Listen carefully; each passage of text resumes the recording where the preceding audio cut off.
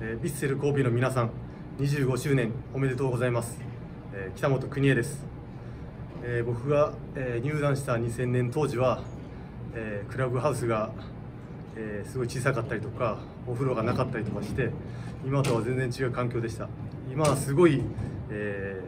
三木谷ハウスができたりとかクラブハウスがしっかりしたとかジムの施設もすごい変わってるっていうのもありますしすごい変化を感じます、え神戸の街の印象はえー、山と海がありすごい綺麗な街でそして何より食事がすごい美味しい街だと思います、えー、また皆さんに会える日を楽しみにしています。